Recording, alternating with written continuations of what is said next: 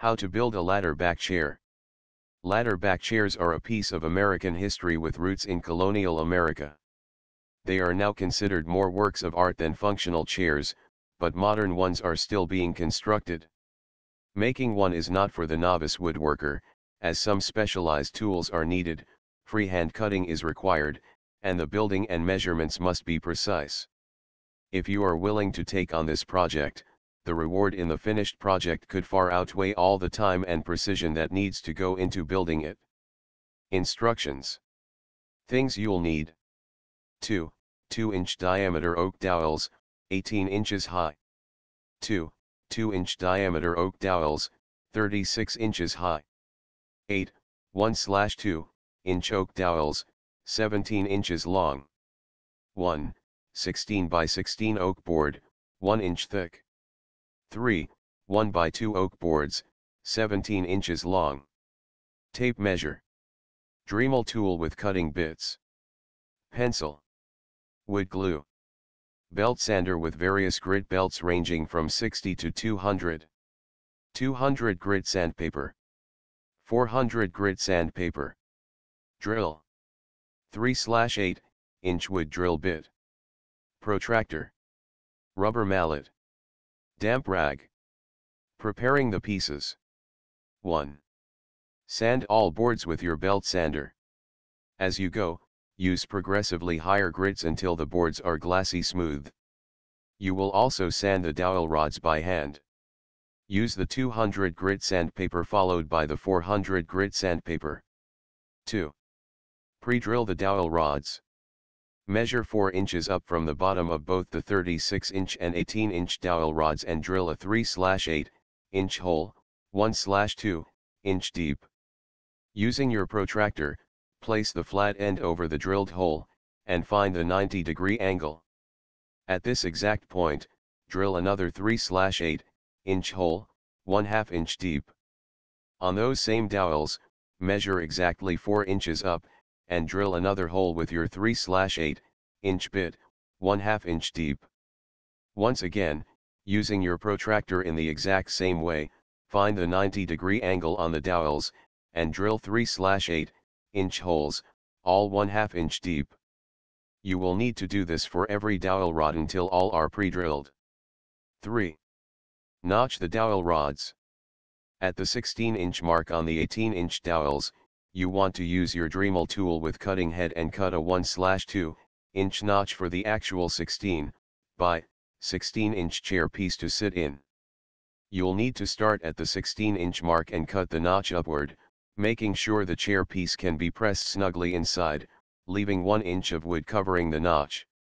Repeat this process on all the dowels at the exact same height. You'll have to be a real craftsman here, and make sure the notch is perfectly symmetrical, smooth and level. 4. Whittle the ends of the 1/2 inch dowels using your Dremel tool, shave or whittle the ends of the 1/2 inch dowels to 3 8 inch. Don't go farther than 1/2 inch long since they need to fit in the bracing holes that were drilled in the dowels. Don't take off more than is needed as they must be tight fitting. Again, you must be precise and a real craftsman to make this good. 5. Make peg holes for the ladder pieces. On the 36 inch dowel rods, you will need to cut out 3 peg holes for the ladder pieces. The holes will be 1 and 1 2 inches long and 1 2 inch wide and 1 2 inch deep, directly in the center of the dowel. You will bore out these holes using your Dremel tool's cutting head, and they will be cut in at these intervals. The first one will be cut in at 2 inches from the top the second one at 8 inches from the top, and the third one will be cut in at 14 inches from the top.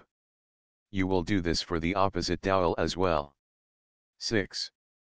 Cut a lip in the ladder boards. On your 3-1, by, 2 inch oak ladder boards, you will cut a lip out from the edge that precisely matches the peg hole you have just cut in the dowels. Using the same Dremel tool and cutting head, the lip must only go 1 slash 2 inch deep into the dowel and fit tightly. Assembly 1. Start out by installing all the dowel bracing rods. Working your way up from the bottom, put glue in the holes as well as on the shaved ends of the dowel bracing rods, and insert them into their corresponding holes. They need to be loose and flexible until the entire chair has been put together, so do not wedge them in at this time. 2. Attach the 16 by 16 inch chair board into the notches. Again, leave it in loose for the time being. You do not need glue, since you will have made the notches so that the chair board is a snug fit. 3. Assemble the ladder pieces from the bottom to the top. The flexibility in the loose chair will allow you to flex the upper portion to allow you to fit the lips into the peg holes. 4. Tighten everything. Starting from the top ladder pieces, use a rubber mallet to tap the chair tightly together gently. From the ladder pieces to the chair to the bracing dowels, tap all these pieces in tightly. 5. Finish off the chair with a cleanup. Use a damp rag to wipe off any drips from the glue. You will need to let the glue dry overnight. This chair can be left to its natural wood beauty or stained. Tips and warnings. This is not a beginner's project. If your goal is to build a ladder back chair but you have little experience, practice by creating the pieces. Once you have a good set, then work on assembly. It will take a lot of wood, but your ultimate achievement will be impressive. These chairs are not particularly sturdy. They are more like art than furniture, so be careful who sits on them. Thanks for watching.